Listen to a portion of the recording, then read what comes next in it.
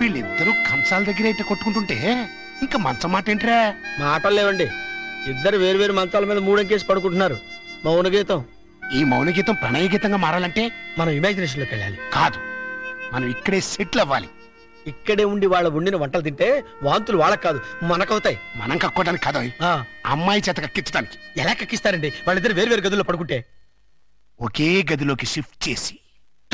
ఆ?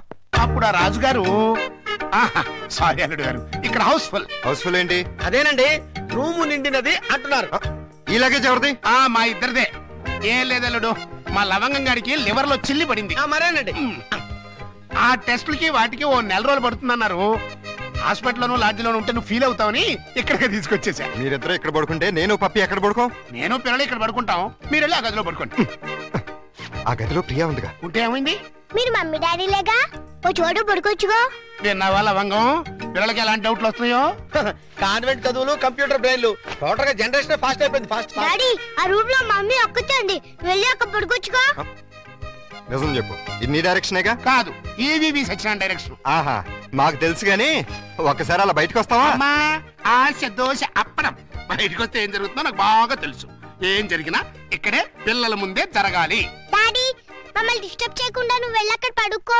తాతయ్య మాకు మంచి కథలు చెప్తున్నాడు. ఆ తర్వాత ఆ రాజుగారు ఏం చేశారంటే ఏడుగుడు కొడుకుల్ని తీసుకుని వేటకి సరే అబ్బాయి గారు ఈ సోఫా నేను కబ్జా చేశాను.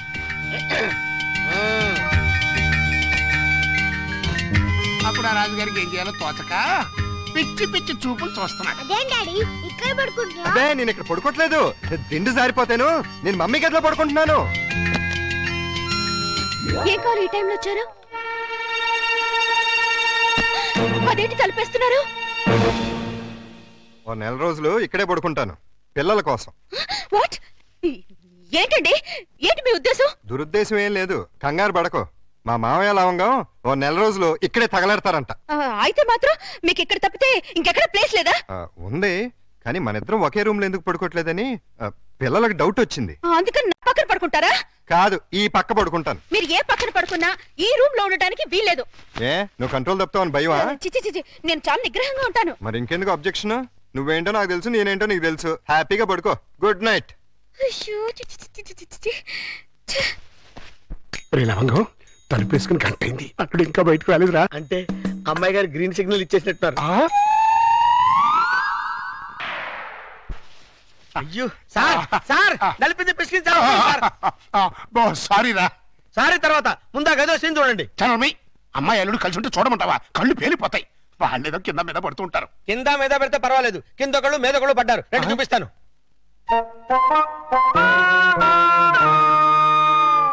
చూసారా? గుర్రాన్ని బారు దాకా తీసుకెళ్ళగలగాని బీరు తాగించలేం కదా? నేను తాగిస్తా. ఎలా తాగిస్తారండి? ఓరి నా పుచ్చు లవంగం. ఆ. రెండేళ్ళని ఒకే ఇల్లు చేసామా చేసాం రెండు బెడ్రూమ్లు ఒకే బెడ్రూమ్ చేసామా చేశాం. అలాగే రెండు పక్కల్ని ఒకే పక్క చేస్తాం.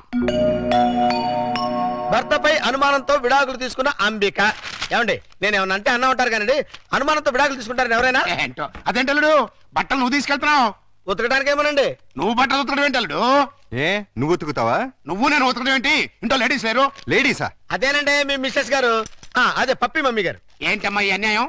కాఫీ ఇవ్వడం అన్యాయం ఏమిటి? కాఫీ ఇవ్వడం కాదు. అల్లుడు గారి చేతికి బకెట్ ఇవ్వడం ఇంటికి వెళ్ళాలి వాషింగ్ మిషన్ అన్నారు. నువ్వు అల్లుడు గారి చేతి బట్టలు ఉతికిస్తే పప్పి బబ్లు ఏమనుకుంటారు? అంటే మీ ఉద్దేశం ఏమిటి? ఆ, రండి రా పిల్లలు రండి, రండమ్మా, రండి. రండి. ఆ, ఇప్పుడు చెప్పమ్మా. ఇందాక ఏదో ఆ, చెప్పబోయావు చెప్పమ్మా చెప్పమ్మా చెప్పు. అది నేను వద్దన్నా కూడా వినిపించుకోకుండా ఆయన అవుతానంటారు ప్రతిసారి. కదండి? ఆహా, అవును ఆ, అంటే అల్లుడు గారికి నీ మీద బోల్డ్ అంత లవ్వు. నిన్ను కష్టపెట్టే ఇష్టం లేక అలా అండి ఉంటాడు కదా అల్లుడు ఆ, అవును మావయ్య. ఆ, తీసుకెళ్ళి ఉతుకో అలాగే ఉతుకుతాను. ఈ లోపు మీరు అన్నం కూర వండేసేయండి. Oh! ఏమిటమ్మా ఈ అన్యాయం? సారీ చూసుకోలేదు వాళ్ళ గురించి కాదు. ప్రతి ఏ ప్రత్యక్ష దైవం నమ్మేటువంటి హిందూ సాంప్రదాయంలో పుట్టి పుట్టి అదితో వంట చేస్తావా? ఇప్పుడు అది కాదురా పిల్లలు అసలు ఏంటంటే ఆ, ఇప్పుడు వాళ్ళతో పనే ఉంది. పాపం అన్ని పనులు తనే చేస్తే ఇబ్బంది అని నేనే ఆ, పైగా సీఎం గారు ఏమంటున్నారు? శ్రమదానం చేయండి శ్రమదానం చేయండి అంటున్నారు. అందుకే నేను శ్రమదానం చేస్తున్నాను. మీకంతగా శ్రమదానం చేయాలని ఉంటే కూరగాయల మార్కెట్కి వెళ్ళి కూర కొనుక్కురా సూపర్ మార్కెట్కి వెళ్ళి సరుకులు పట్టరా ఫ్లవర్ మార్కెట్కి వెళ్ళి అమ్మాయికి పూలు తీసుకురా. అది కాదు మావయ్య. ఓ, అది కాదురా పిల్ల. మావయ్య! ఆ, నేను మార్కెట్కి వెళ్ళి కూరగాయలు తీసుకొస్తాను. ఏమే? ఈ లోపల నువ్వు బట్టలు ఉతుకు. అలాగేనండి. ఆహా! మీ హెడ్కి హ్యాట్స్ ఆఫ్ గురువు గారు థ్యాంక్స్ ఏమే? వంట అయిపోయిందంటే? ఏమైనా? ఏంటి సొంత పిల్లని నిన్నేనే? వంట అయిపోయిందా అని అడుగుతున్నాను. సమాధానం చెప్పేంటి? ఆ, అయిపోయిందండి. మీరు వెళ్ళి కూర్చోండి. తెచ్చి వడ్డిస్తాను. అలాగే త్వరగా వడ్డించు. ఆ. మీరు తినేస్తారా? వడ్డించేస్తుంది? ముందు మీరు తినేయండి తర్వాత మేము తింటాం. రాయ్. ఏంటి పోటీ స్పెషల్? దొండకాయ వేపుడు బెండకాయ పులుసు. మీకు ఇష్టం లేనివి రెండేగా? అవునవును. ఈ రెండు అంటే నాకు చాలా ఇష్టం. అందుకే వండాను. బాగా తినండి. తినండి. ఆఫీస్కి వెళ్ళాలిగా ఎలా ఉందండి? అదిరింది. ఒక్క ముద్దతోనే కడుపు నిండిపోయింది. ఇక చాలు. మీరు మరీను ఒక్క ముద్దకి ఎలా కడుపు నిండుతుంది? చూడండి బాబాయ్ గారు. ఏమా పిల్లలతో పనుందా? అస్సలు లేదు. మీరు అక్కడే కూర్చోండి. మీరు తినండి. ఏమండి? బయలుతున్నారా అవును ఏ? ఆహా షూస్ ఎవరైనా తుడమంటారేమోనని అక్కర్లేదులే. అయితే ఇంతవరకు సెటిల్ చేసేయండి. ఏంటది? ప్యాంటుకి నూట యాభై షర్టుకి నూట ఇరవై లుంగికి తొంభై టవల్కి యాభై కర్చీఫ్కి పాతిక అన్నం వండినందుకు వంద బెండకాయ పులుసుకి యాభై దొండకాయ వేపుడికి డెబ్బై ఐదు వడ్డించినందుకు వంద కంచం కడిగినందుకు నూట యాభై.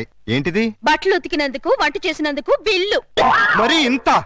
ఫైవ్ స్టార్ హోటల్ కూడా ఇంత ఉండదే? ఉంటే నాకేంటి ఉండకపోతే నాకేంటి? నా రేట్ అది. ఇవ్వండి. గొప్ప కేసు తగిలిందిరా బాబు. నైట్ భోజనం కూడా నన్నేమంటేమంటారా? వద్దులే తల్లి. ఇంకా నీ చేతులతో మంచి నీళ్ళు కూడా ఇవ్వద్దు. మిస్టర్ ప్రతాప్. నీకు గుడ్ న్యూస్ అయ్యా. నేను పది రోజుల పాటు కూర్చొని కష్టపడి మంచి స్టోరీ తయారు చేశాను. దాన్ని గాని సీరియల్గా తీసి మన టీవీలో వేస్తే దెబ్బకు మూతపడిపోతుంది. మరి అక్కడే రిమోట్లో కాలేదు. లేకపోతే ఏంటి సార్? గాడి చేసే పని గాడి చేయాలి గుర్రం చేసే పని గుర్రం చేయాలి. అంటే? నేను ఇప్పుడు గాడిదనా గుర్రానా? వాటిని ఇన్సల్ట్ చేయటం ఎందుకులేండి? అదే కదా. ఇదిగో ఆ కథకి బ్రహ్మాండమైన టైటిల్ కూడా పెట్టాను. ఏంటది? యాంటనా మీద కాకిరెట్ట? కాదు నెత్తి మీద గుడ్డ. ఎలా ఉంది? సింబాలిక్గా చాలా బాగుంది. టైటిల్లోనే మన భవిష్యత్తు కనిపించేస్తుంది. ఇదిగో నైన్టీన్ నైన్టీ టూ నుంచి చూస్తాను. ఈ స్టూడియోకి రిమోట్ కంట్రోల్ నువ్వా నేనా? ఎందుకు వచ్చిందా డౌట్? ఎందుక? ఎప్పుడు నువ్వు తిడుతుంటావు నేను పడుతుంటాను. అందుకని హలో? నేను ప్రియని. ఏంటి? సాయంత్రం మీరు వచ్చేటప్పుడు కాస్త స్కూల్ నుంచి పిల్లల్ని తీసుకురండి. మార్నింగ్ డ్యూటీ నాది ఈవినింగ్ డ్యూటీ నీది. మర్చిపోయావా? లేదు. సడన్గా ఎందుకో ఒంట్లో బాలేదు? ఏమైంది? కాస్త జ్వరంగా ఉంది. సారీ ప్రియా. అయితే నువ్వు ఇంటికి రెస్ట్ తీసుకో. నేను పిల్లల్ని తీసుకొస్తాను. Thank you sir. కథ చెప్పమంటావా? వద్దు. నాకు ఈ పూట లీవ్ కావాలి. దేనికి? మెంటల్గా ప్రిపేర్ అయ్యి రేపు ఉంటావా? అవును. అయితే వెళ్ళు.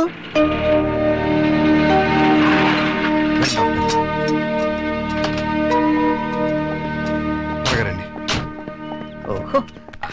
నా బంగారు లైట్ బందర్ లడ్డు. ఓహో. నా తిరుపతి లడ్డు. ప్రియా ఎలా ఉంది? అయ్యో జ్వరం ఎక్కువగా ఉంది. డాక్టర్ గారు చూడండి.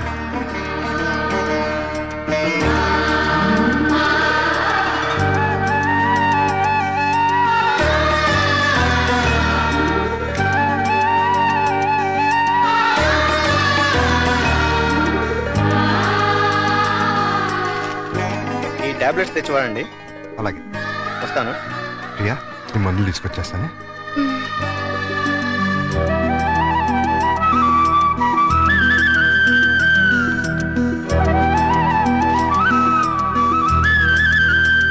ప్రియాలే టాబ్లెట్స్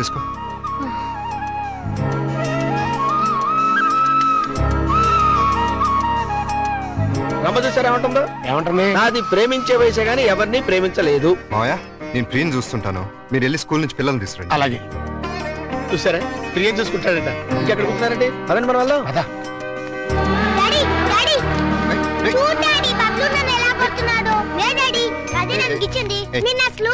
ఉండు. మమ్మీకి ఉంటో బాగాలేదు. అలా చికెన్ బయటికి వెళ్ళి ఆడుకోండి. పండి. రా బబ్బీ.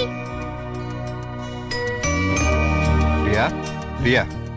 లే జ్యూస్ తాగుదు కానీ లే. వద్దండి. ఏం తినలేదు కదా. నీరసంగా ఉంటుంది. లే. అది. డాడీ స్కూల్కి టైం అయిందిరా. అరే అప్పుడే తొమ్మిదైందా? వస్తున్నా. అరే ఇంకా జ్వరం ఉంది. తగ్గిపోతుందిలేండి మీరు వెళ్ళండి పావుగంట ఆగి టాబ్లెట్స్ వేసుకో వస్తా. డాడీ ఇవాళ నువ్వు త్వరగా రావాలి. ఏమ్మా? ఇవాళ నా బర్త్డేగా? సారీ అమ్మా మర్చిపోయాను. హ్యాపీ బర్త్డే పపి డార్లింగ్ నాది same dialogue thank you daddy evening పెద్ద కేక్ తెచ్చి పార్టీ ఇవ్వాలి. మా ఫ్రెండ్స్ అందరినీ పిలుస్తాను. ఇవాళ పార్టీ వద్దులేమ్మా. ఏ? మమ్మీకి ఒంట్లో బాగాలేదు కదా. వచ్చే సంవత్సరం రెండు పార్టీలు గ్రాండ్గా చేద్దామే మా ఫ్రెండ్స్ అందరికి చెప్పేశాను డాడీ పార్టీ ఇవ్వకపోతే ఫీల్ అవుతారు వాళ్ళు. అమ్మకు బాగున్నప్పుడు పార్టీ ఇస్తే అమ్మ కూడా ఫీల్ అవుతుంది కదా మరి. అయితే వదిలే గుడ్ గర్ల్ పదండి స్కూల్కి టైం అవుతుంది పదండి.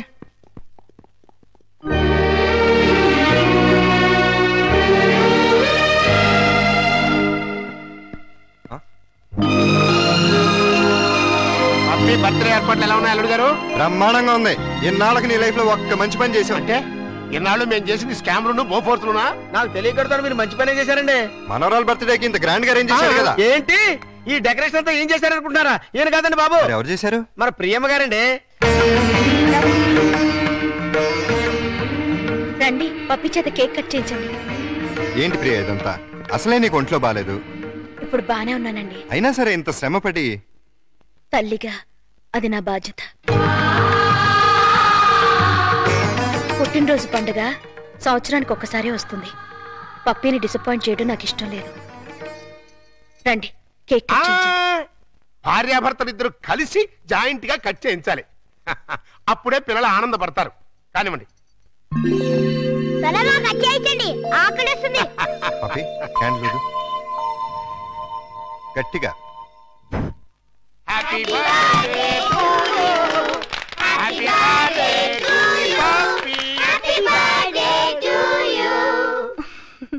పాకిస్తాను ఇండియాలో ఉండే అల్లుడు అమ్మాయి ఇవాళ హైదరాబాదు సికింద్రాబాద్ లా కలిసి మెలుతున్నారా ఇంకా పది రోజులు ఆగితే వాళ్ళిద్దరి మధ్య బాగా ఎఫెక్షన్ పెరిగిపోయి విజయవాడ బెదవాడ ఒకటైపోతారు. అయితే ఇప్పుడే వాళ్ళని విడదీయాలి. విడదీయాలా? మ్మ్. ఖాళీగా ఉన్నోడు క్యాట్ కటింగ్ చేయడం అంటే ఇదే.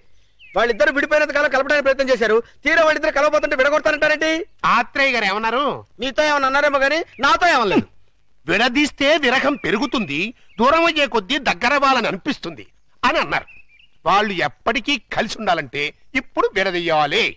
ఓహో అలా వచ్చారా? నువ్వెలా రావాలో చెప్తాను. రా.